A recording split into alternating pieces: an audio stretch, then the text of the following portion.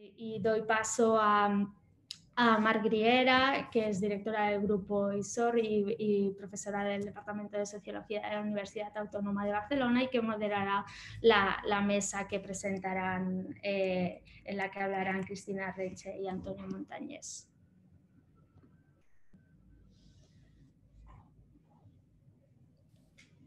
Buenas tardes a todo el mundo, bona tarda a tothom. Uh, moltes gràcies, Rosa, per la teva presentació. Jo crec que has explicat molt bé aquest inici. Per mi ara és un ple donar peu o donar pas a aquesta, a aquesta primera taula d'aquest seminari i a més és un ple perquè contem amb la Cristina Rodríguez Recha i l'Antonio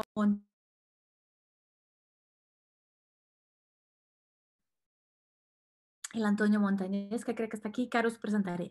Deixeu-me abans eh, donar-vos unes petites indicacions sobre la taula. Primer de tot, us demanem, com deia la Rosa, que mantingueu els micros tancats per evitar interferències. Segon, us recordem que la sessió serà gravada, només es gravarà la imatge principal de la persona que parla. Per tant, la resta, si voleu obrir les càmeres, de vegades ho fa més càlid o no, com us sentiu més eh, còmodes. I tercera qüestió important, recordeu que el xat eh, està obert i que podeu fer preguntes a, a través del xat. Deixeu-me la taula, ells parlaran en castellà, jo parlo en català, avui fem aquesta, aquesta mena de, de multilingüisme en aquest, en aquest seminari. No?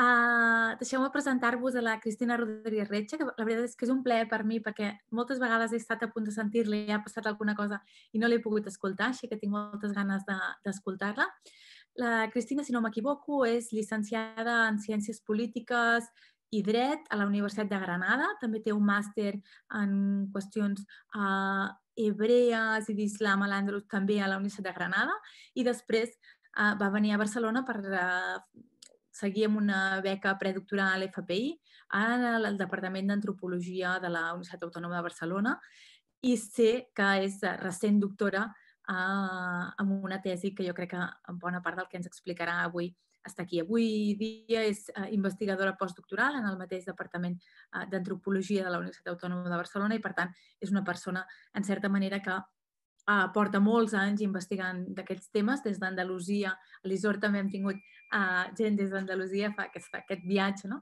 d'un lloc a l'altre i, i bueno, t'agraeixo molt que estiguis aquí. I l'Antonio Montañés, que ara no el veig però entenc que també està per aquí. L'Antonio Montañés uh, també és d'aquests que ha fet un viatge migratori. Ell és de, de Madrid, va fer Sociologia a la Universitat Carlos III de Madrid. Uh, a més a més, l'Antonio després va passar a la Complutense, va començar amb una beca de doctorat i després va venir cap a, cap a Barcelona. Uh, L'Antonio ara mateix està fent, està acabant, li queden dos mesos, jo crec que uh, per lliurar la tesi que fa amb cotutela uh, entre l'autònom on li dirigeixo jo mateixa i la Universitat de Sant Andrews. I, a més a més, cal reconèixer-li que en els últims temps ha guanyat tots els premis aguts i per haver en el camp de l'antropologia i la sociologia. Alguns va començar amb el Premi de l'Associació Catalana de Sociologia conjuntament amb el Ramon Macià i a partir d'aquí doncs, va guanyar el, Mari, el Marian Madison Prize de la, de la Roman Studies, després ha guanyat el Peter Berg Clark eh, Prize eh, de l'Associació la, Britànica de Sociologia, eh, ha guanyat també un premi eh, de l'American Anthropological Association i ha l'últim, el de la Universitat de, de St. Andrews per uh, pay, els millors papers entre els estudiants de doctorat. Així que uh, realment és un home premiat. La primera presentació, i no m'enrotllaré més, és la de la Cristina, de la Cristina Reiche, y que si no, si no ho dic malament, uh, és la mixticidad, la religió i el gènere a través de los procesos identitarios i té aquesta frase tan suggerent que diu «Cuando pienso en identitat, pienso en islam». Uh, així que et dono la paraula, Cristina, i moltes gràcies per haver acceptat la invitació. Eh, muchas gracias a las dos por la presentación que habéis, que habéis hecho, tan perfecta, por haberme tenido en cuenta para este seminario de vuestro grupo. Seguro que aprendo un montón. Ya me apetecía también eh, conocerte más un poco, aunque sea a través de la pantalla. Y bueno, lo que voy a proceder a compartir la pantalla para que podáis ver la presentación. No sé si alguien me puede confirmar si se ve bien. ¿Sí? Vale. Bueno, pues lo que efectivamente voy a presentar aquí es una parte de mi tesis doctoral y he decidido titularla la misticidad, la religión y el género a través de los procesos identitarios. Cuando pienso en identidad, pienso en el Islam. El contenido de la presentación lo he clasificado en seis partes para que sea un poco más sencillo guiarme, porque si no, la verdad es que divago mucho. en primer lugar, empezaré explicando qué relación tiene mi tesis doctoral con, el proyecto en el, que, en el que se enmarca, un proyecto de investigación de. Luego presentaré ya más concretamente las preguntas y el objetivo de mi trabajo. Expondré muy brevemente cuál ha sido el planteamiento teórico que, me ha inspirado ¿no? y cuáles son los conceptos con los que he trabajado o por qué he decidido trabajar esos conceptos y también un poco qué dificultades me encontré a la hora de, operacionalizar esos conceptos porque algunos eran realmente nuevos para mí, son conceptos de la disciplina de la antropología y yo realmente era la primera vez que, los trataba. Explicaré también cuál ha sido la metodología ¿no? de la tesis doctoral y cómo se ha clasificado por fase el trabajo y presentaré brevemente también, tranquilidad, unos resultados que van un poco más en relación con, con el proceso identitario en relación a la religión, el género y la visibilidad, ¿no? por seguir el hilo del seminario. Eh, el tema de la mixticidad, que también lo trato muy a fondo en la tesis, lo he dejado en esta presentación un poco más, más al margen, pero bueno, también es importante y también saldrá un poco, aunque sea de manera coyuntural. ¿no? Y terminaré presentando pues, las conclusiones previas que yo he obtenido con, con mi trabajo. Como decía, mi tesis doctoral eh, se enmarca dentro de un proyecto de investigación y más D, más amplio, ¿no? que, llevamos a cabo en el grupo de investigación INMIX, del que formo parte, del Departamento de Antropología Social y Cultural y del que el profesor Dan Rodríguez García es el investigador principal y ha sido también el, director de mi tesis. El proyecto se llama Sociabilidad y Proceso Identitario de Hijos e Hijas de Uniones Mixtas, la misticidad entre la inclusión y la construcción social. En el proyecto lo que hemos hecho ha sido entrevistar a aproximadamente 150 jóvenes, chicos y chicas, que eran hijos de una pareja mixta, pero los miembros de la pareja podían provenir de, cualquier origen, no tenían por qué ser necesariamente magrebís.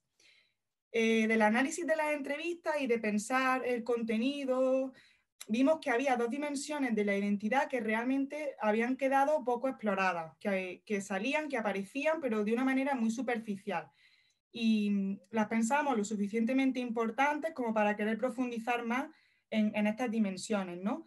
fueron la dimensión de género y la dimensión religiosa. Y así fue también un poco como surgió la idea de, mi tesis doctoral, de analizar cómo la dimensión de género y la dimensión religiosa más concretamente influían en los procesos identitarios. Y bueno, mi tesis doctoral, que efectivamente defendí el pasado 23 de octubre, se llama Hijas de Uniones Mixtas con un padre o madre inmigrante de origen magrebí en Barcelona y Granada. Identidad, mixticidad, género y alcance del estigma de la musulmanidad. El objetivo que, tenía yo con mi tesis era ampliamente ¿no? conocer cómo estas jóvenes que son hijas de una pareja mixta, en la que uno de sus miembros era de origen magrebí, formaban su identidad. Pero teniendo en cuenta que en estas jóvenes ocurrían eh, cuatro factores o cuatro características, o bueno, cuatro variables, ¿no?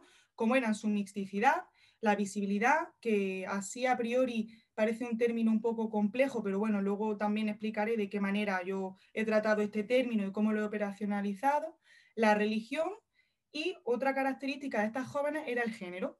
Cuando estas cuatro características, que pueden ocurrir las cuatro simultáneamente o no necesariamente, porque puede que las jóvenes no sean musulmanas o puede incluso que no sean visibles, pero bueno, de la intersección de estas cuatro características Em, surgían categorías de opresión, ¿no? Y esas categorías de opresión normalmente pues daban mm, lugar a procesos de racialización y de estigmatización.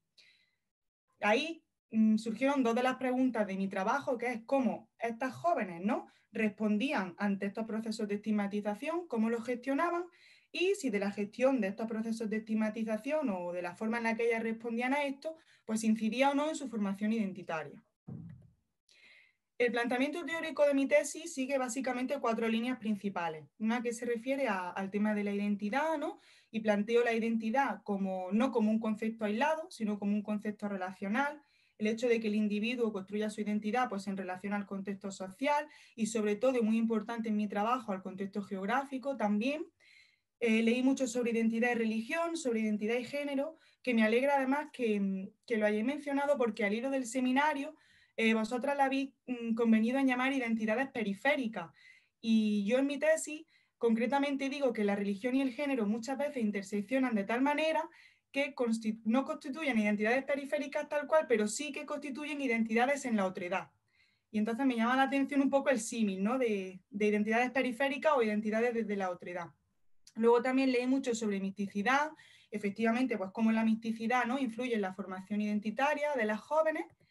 También una línea de Islam en la que expongo pues como la endogamia y la exogamia religiosa es percibida desde la religión musulmana. Y un apartado muy interesante también que, pensé con la idea de desmontar un poco todo el estereotipo o el tópico ¿no? que hay al hablar de la mujer musulmana, como si solo hubiera una forma de ser mujer o solo hubiera una forma de ser musulmana. Y bueno, lo que se plantea en este apartado es eh, queremos pensar un cambio, ¿no? De dejar de hablar de la mujer musulmana para empezar a hablar de las mujeres musulmanas, que es algo que muy importante también. Y finalmente, un apartado teórico que considero bastante importante de la tesis es el que se refiere a racismo y discriminación. Y aquí lo que hice fue un recorrido histórico, en cierto modo, sobre el imaginario colectivo español que hay alrededor de la figura del moro y de la mora, de los estereotipos y de los prejuicios, ¿no? de los tópicos también que se le han ido atribuyendo a lo largo de la historia. Em, y, y, planteo también el debate que ha mencionado Rosa actualmente sobre la pertinencia o no de usar el término islamofobia, según ante qué fenómeno nos encontremos o qué hecho estemos describiendo. Yo lo que hago en la tesis ciertamente es plantear la existencia del debate y la línea argumentativa, pero aún no me, no me posiciono porque tampoco me encuentro capacitada o suficientemente preparada teóricamente para hacerlo. Pero un debate muy interesante y sí que lo expongo porque me gustaría seguir profundizando en estas líneas.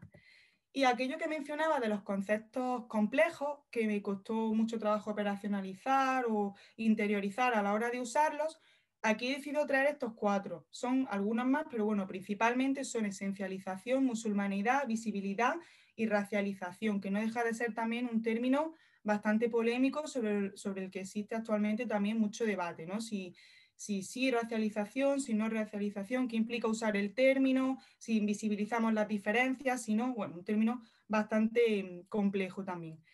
Yo decidí tratar estos cuatro términos porque para mí hay algo que comparten eh, entre ellos, ¿no? la base de su significado, que es la construcción de una diferencia. Y a partir de esta construcción de la diferencia, pues ya se van generando diferentes em, categorías y clasificaciones, la del otro, la del extranjero, la de ellos, la de ellos versus nosotros, a partir, por supuesto, ¿no? de, un, término bastante importante en mi trabajo, que es el de la visibilidad. Yo, para operacionalizar este término, me he basado mucho en, en Jenkins y él decía que la visibilidad no es sino una construcción social, nadie es visible por el hecho de ser y estar, sino que se es visible en relación al contexto, ¿no? Y Em, ese contexto es el que atribuye a ciertos marcadores visibles o a ciertas características del aspecto físico una percepción estereotipada. Con respecto a la metodología de mi tesis, pues bueno, yo usé una metodología plenamente cualitativa. Las fases del trabajo son las que aparecen en estos círculos verdes. Yo empecé elaborando unos informes de prospección demográfica con la idea de justificar metodológicamente el hecho de hacer trabajo de campo en Barcelona y en Granada algunos datos demográficos de, volumen de población migrante que eran bueno, pues realmente importantes. Luego inicié la búsqueda de, mis contactos a través de las asociaciones y entidades con las que ya habíamos colaborado en el proyecto, así que en este sentido me fue también muy útil ¿no? para acceder al terreno, haber participado del proyecto y finalmente la elaboración de, los guiones de mi, de mi, entrevista. Aquí hay un cuadro, aquí abajo, donde aparecen las características de, de las mujeres con las que hemos trabajado en mi tesis. Son hijas de una pareja mixta, un padre o madre son de origen magrebí, ellas son de Granada o Barcelona, o si no han nacido propiamente en estas ciudades, sí que han socializado en ellas la mayor parte de su vida, de entre 18 y 30 años y no necesariamente eh, musulmanas. ¿Por qué Barcelona y Granada como ciudades en las que decido desarrollar mi trabajo de campo? Bueno, también por motivos prácticos, ¿no? El hecho de hacer el doctorado en Barcelona y ser de Granada, pues facilitan relativamente el acceso al campo porque ya estás allí y se va conociendo, pero también porque son ciudades que tienen algunas características que facilitan eh, la descripción ¿no? que yo hago.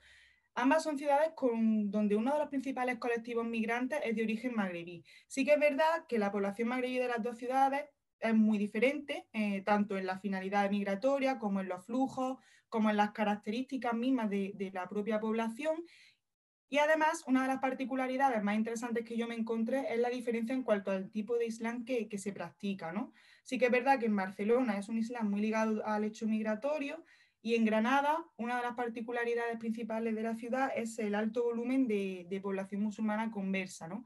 que practica un, Islam muy cercano a la tradición sufí.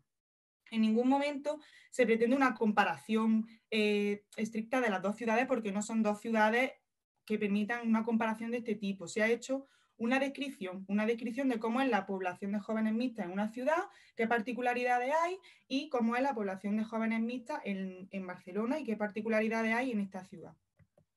Yo realicé 26 entrevistas, hice 10 en Barcelona, 9 en Granada y 7 entrevistas al denominado grupo de control, que fueron 4 a mujeres hijas de una pareja endógama, ambos miembros de origen magrebí, y tres a chicos que sí que eran hijos de una pareja mixta. Y luego hice una entrevista grupal de cuatro personas, dos chicos y dos chicas, todos hijos e hijas de una pareja mixta.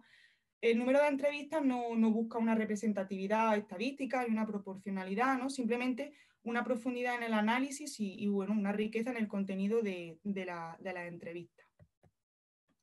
Con respecto a los resultados, yo lo que percibo de mi trabajo es que el hecho de formar o de configurar las identidades se ve compuesto de, bueno, pues de muchos elementos, de múltiples elementos. No es ni mucho menos un fenómeno homogéneo, ni estático, ni fijo. ¿no?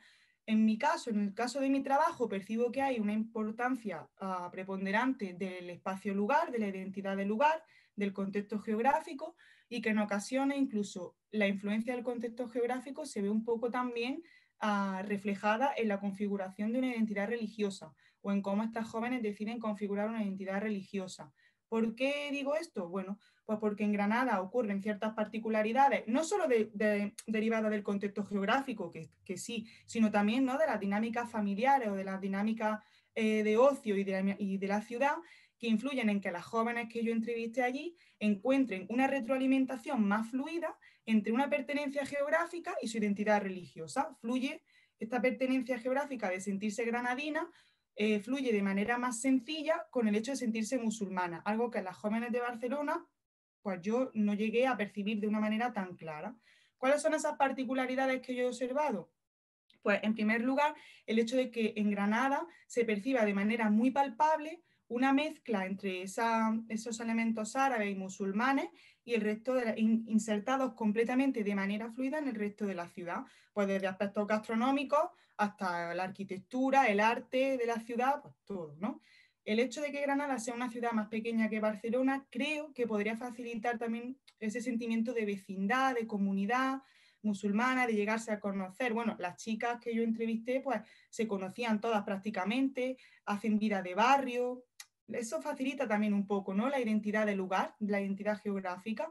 Y luego, un aspecto que, es, una, es una percepción, no nada científicamente demostrable, claro, pero yo percibo Granada como una ciudad menos secularizada, una ciudad donde la religión aún tiene un papel eh, en lo público, en la vida de la ciudad, ¿no? Pues la Semana Santa, eh, la fiesta del Corpus Christi o incluso por la calle, ¿no? Que se ven altares todavía o imágenes de, religiosas y creo que el hecho de que una ciudad no haya todavía relegado la religión totalmente del espacio público podría en cierto modo em, facilitar que las jóvenes decidieran configurar ¿no? una identidad religiosa en concordancia con, una identidad geográfica. Aquí he querido poner eh, dos ejemplos de entrevistas. Ella es Muna, una chica a la que entrevisté para la tesis y es de Granada, y el primer fragmento pues, refleja eh, esto muy bien, ¿no? Esta concordancia que yo digo, esta retroalimentación entre, entre sentirse de y ser musulmana, ¿no? Ella dice, el nacer en Granada para mí ha sido un plus, más que si hubiera nacido, yo qué sé, en Galicia. Allí creo que me hubiera sentido menos identificada, es verdad. Y está todo muy junto, mi religión y mi ciudad. Y luego otro ejemplo, que es el ejemplo de Fátima, que es una joven que entrevisté en Barcelona y que es el ejemplo al que he hecho referencia en el título de la presentación, ¿no? Ella dice, sobre todo para los que no podemos decir soy de aquí o de allí, lo primero lo que pensamos cuando escuchamos la palabra identidad es Islam, soy musulmana.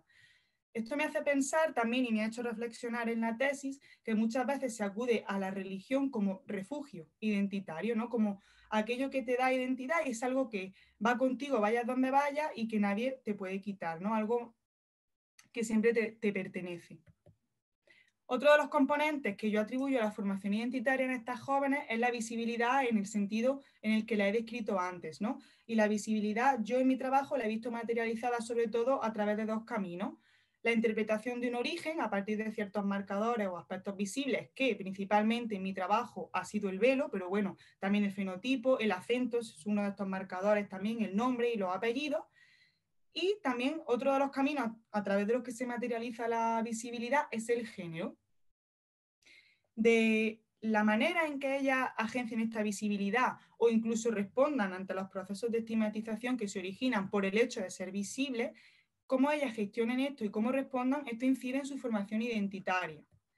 Aquí hay un ejemplo ¿no? de, la capacidad que antes mencionaba eh, Rosa, ¿no? De, agencia, de empoderamiento, de qué, qué, decido mostrar, cómo decido mostrarlo, por qué decido mostrarlo, en qué momento decido mostrarlo, si soy visible porque yo quiero ser visible, porque me quiero reafirmar como musulmana y además de como musulmana, como de muchas cosas más no solo de musulmana, sino en el caso de Nadia, por ejemplo, soy musulmana, soy skater y soy de Granada, soy muchas cosas más. Entonces, el cómo ellas decidan agenciar esta visibilidad y la respuesta que tengan ante estos procesos de estigmatización va a incidir de manera importante en, en cómo se terminen construyendo.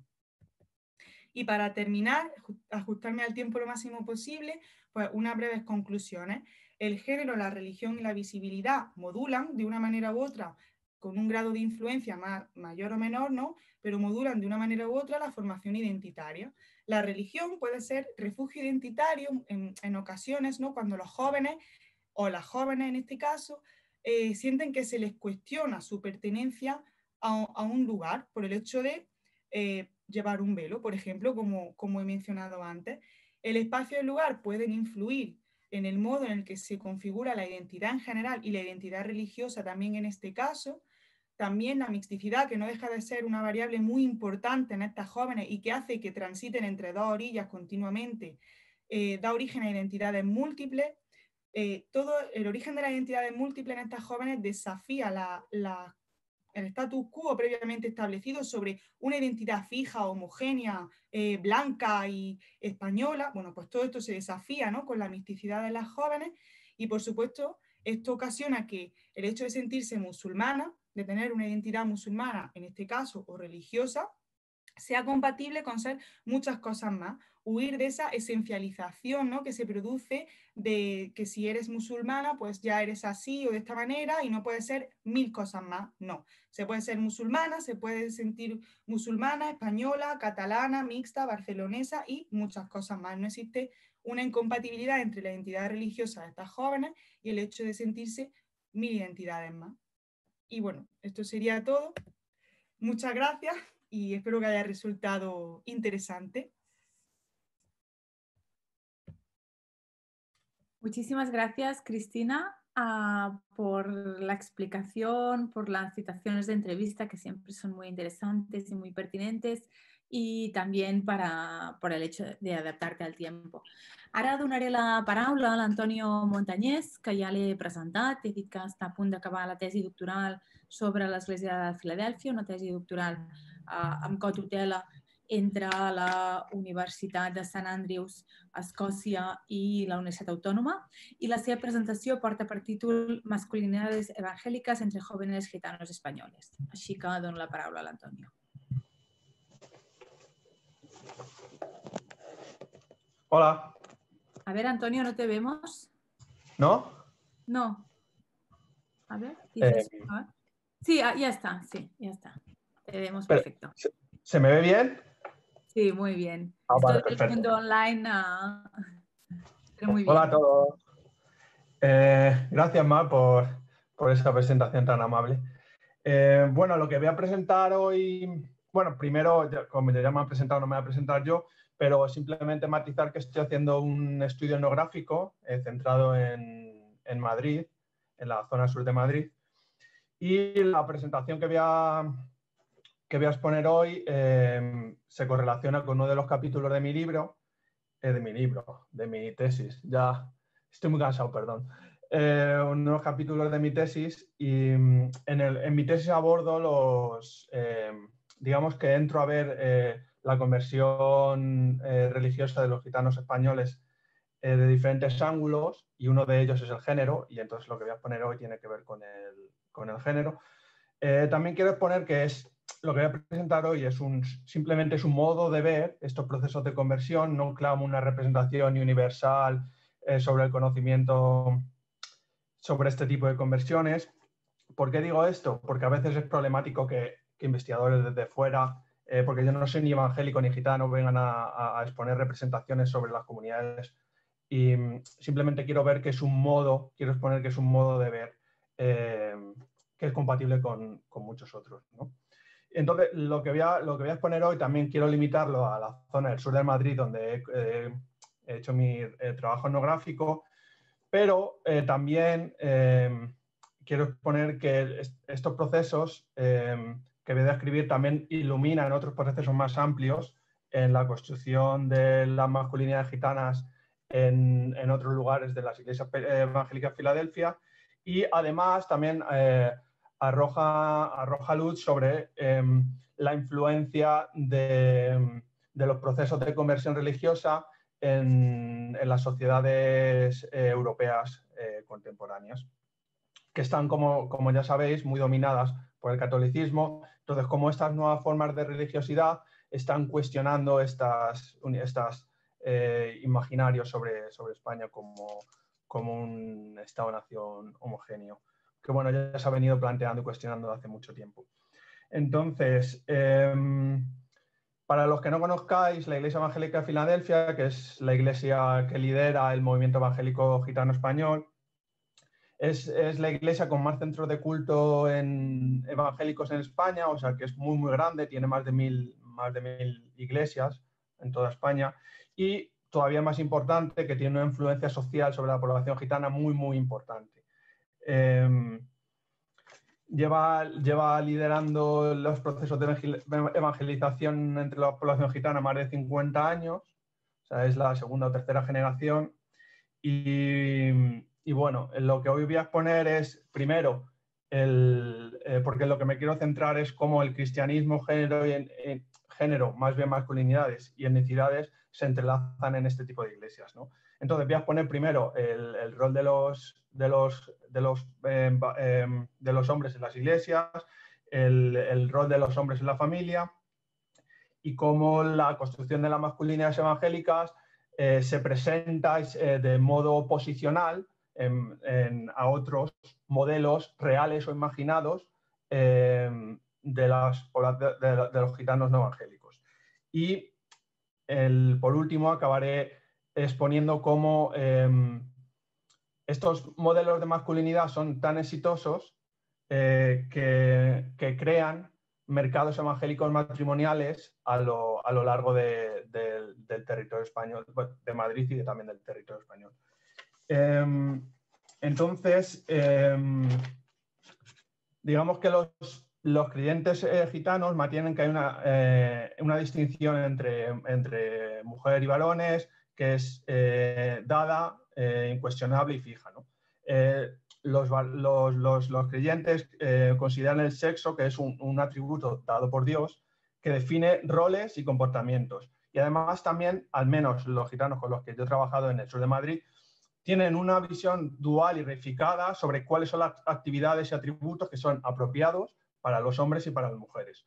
Y también abrazan modelos heteronormativos y defienden que el, que el matrimonio está anclado en la, procreación. Estos, estos modos de ver el género, estos modos em, que son, digamos, que no difieren de manera significativa con cómo el, catolicismo o, los sectores más conservadores de la sociedad española entienden el género. Pero un, punto que, diverge, que, diverge que, es muy importante y, esto es, como digamos, el centro del capítulo, es que em, los pastores y los creyentes enfatizan que dentro del, matrimonio, digamos que entienden el matrimonio como un vínculo específico en el cual los esposos o los cónyuges necesitan demostrar su santidad, ¿no? Y esta es la clave. Em, entonces, una manera de demostrar la santidad es adhiriéndose a estos modelos de masculinidad. Em, los, pastores, los pastores en el sur de Madrid em, requieren un, eh, para los gitanos evangélicos, requieren eh, un, digamos, eh, un, que, los evangélicos abracen un modelo gitano, perdón, me estoy liando, un nuevo modelo de hombre que está definido por una determinación especial para interactuar con los miembros de su, hogar de manera distintiva. Y esta manera distintiva es eh, donde hay que mostrar la santidad. Entonces, digamos que en, los discursos, en las narrativas, eh, producen un, imaginarios a partir de los cuales se interpreta estos procesos de conversión y estos, eh, la emergencia de nuevos modelos de masculinidad como un, un proceso redentivo de los hombres a partir de los cuales se crea un nuevo modelo. Y, por ejemplo, una evidencia muy grande de la influencia de estos, de estos nuevos modelos es eh, que los, los gitanos eh, tienen, digamos que eh, los testimonios de los gitanos, no sé si sabéis lo que es un testimonio, un testimonio es una narrativa que explica por qué una persona se ha convertido. Eh, hay una mayoría de los, de los testimonios que yo he analizado en las iglesias evangélicas de Filadelfia tiene que ver con estos cambios significativos en las relaciones con sus esposas y con sus familias.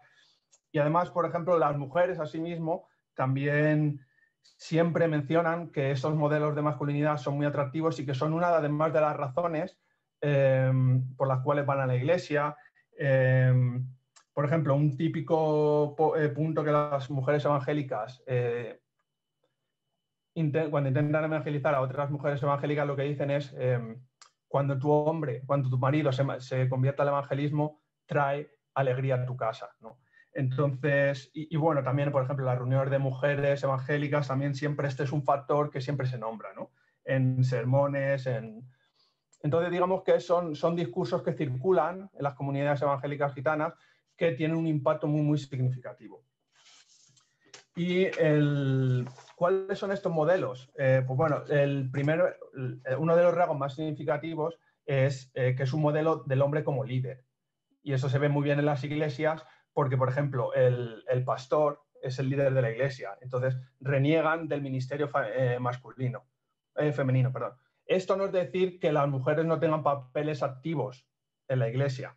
Lo que tiene, de hecho, las pastoras, que son las, eh, es un puesto honorífico, pero no ministerial, que se obtiene por, por estar casado con un pastor, tienen un papel súper activo en las comunidades evangélicas gitanas.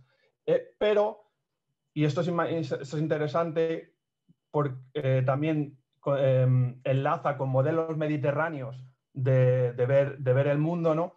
Digamos que eh, siempre las mujeres muestran deferencia hacia el varón en el espacio público, cuando a la vez en, el, espacio privado ellas tienen bastante influencia.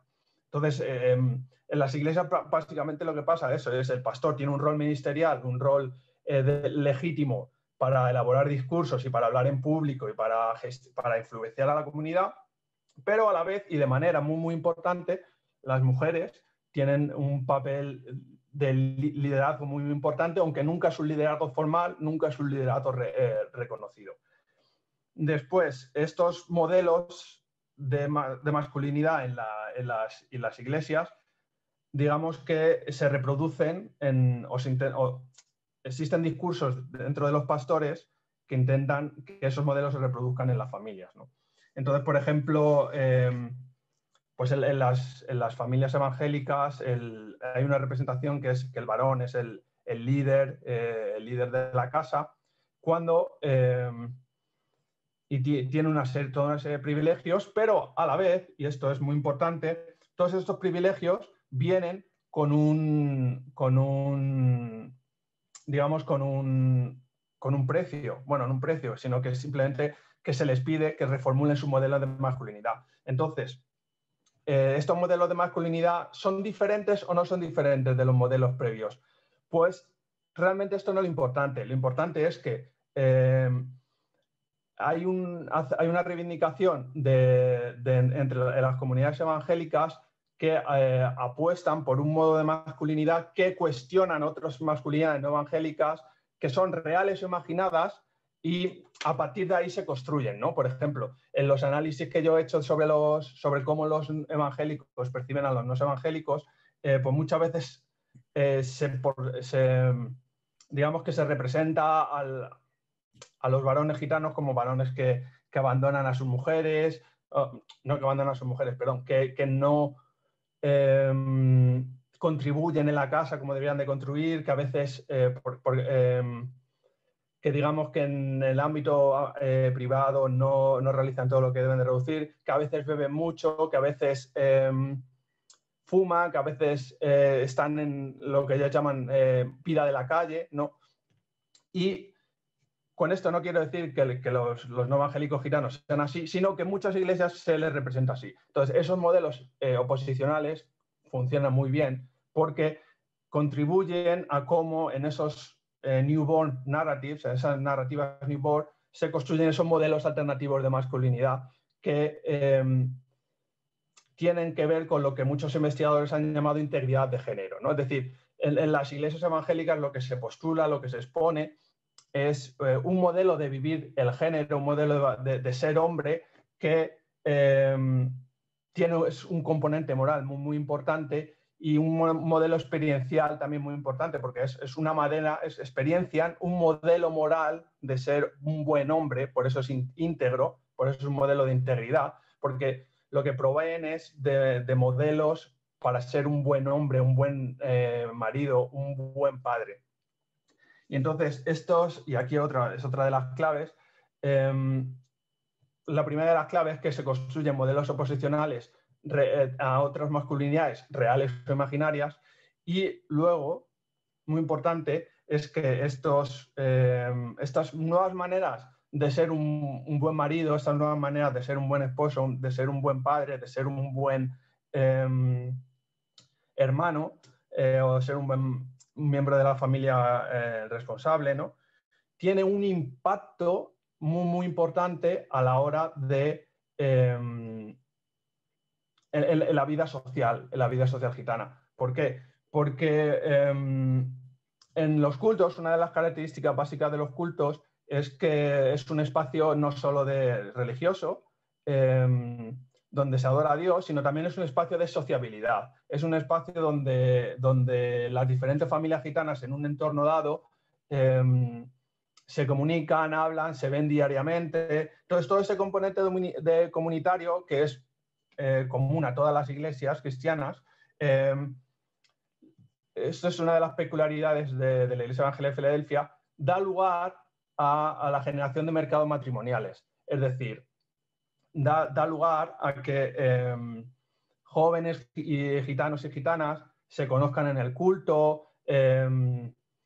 Entonces, digamos que estos modelos, digamos que un, un, gitano o una gitana por ir al culto se le presupone unos valores morales, se le presupone una manera de conducirse en el mundo em, que es muy valorada por los cónyuges gitanos, especialmente por las mujeres.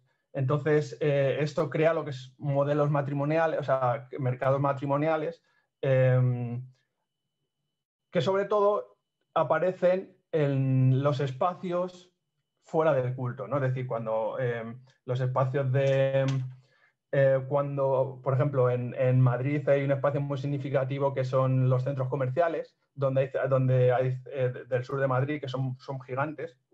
Por ejemplo, los viernes, los sábados y los domingos, a la salida del culto, em, eh, en esos espacios, digamos que se saturan de jóvenes gitanos que vienen a conocer a otros jóvenes gitanos y ahí se, em, se producen prácticas de friteo, ¿no? Lo que, bueno, los que los gitanos conocen como roneo. Y, y claro, el ser evangélico es un, digamos que em, da un capital matrimonial muy, muy importante en, esas prácticas de, de. ¿no? Entonces, em, digamos que, y esto es importante también por el tema de la antropología del, parentesco, porque em, la población gitana históricamente, aunque esto está cambiando mucho, eh, ha, sido, ha sido conocida por em, tener prácticas matrimoniales bastante locales e enraizadas dentro de sus sistemas amplios de parentesco o de, o de, familias que se conocen entre sí en, en, poblaciones locales. ¿no? Estas prácticas de, de estos, estos mercados matrimoniales están expandiendo o están facilitando procesos que ya estaban en marcha sobre, eh, sobre, sobre modos de ver el, el, matrimonio entre, entre gitanos de manera más amplia y es también otro modo de eh, facilitar, eh, digamos que, mm, una visión mucho más comunitaria y mucho más étnica de, de, acercarse a estos mercados matrimoniales, cuando en el pasado estos son modelos que están bastante, están llegando, están bastante obsoletos ya, de cuando los, gitanos solo se, solo se casaban, o, eh, al menos en Madrid, con personas que estaban en el mismo vecindario o, con familias que se conocían entre sí. Entonces, digamos que es una manera de, de, habilitar nuevos espacios en el que estas prácticas matrimoniales tienen un efecto súper importante en el contexto gitano de la, de, la ciudad de Madrid. Y, ya básicamente, eh, básicamente es esto.